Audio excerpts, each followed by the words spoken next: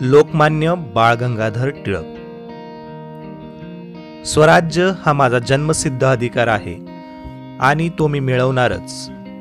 असे सिंहगर्जना करणारे भारतीय स्वातंत्र्य चळवळीतील थोर नेते शिक्षक वकील स्वातंत्र्य सेनानी म्हणजे लोकमान्य बाळ गंगाधर टिळक होय.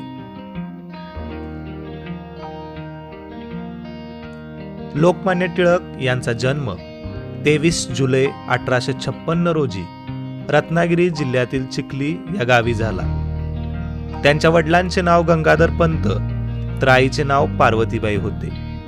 बाळ लहानपणापासूनच हुशार सत्यवादी व सरळ स्वभावाचे होते. गणित व संस्कृत या विषयात त्यांना विशेष रस होता. शिक्षण पूर्ण झाल्यावर त्यांनी काही काळ शिक्षक म्हणून काम केले. आपल्या मित्रांसह नवीन शिक्षण संस्थेची स्थापना केली.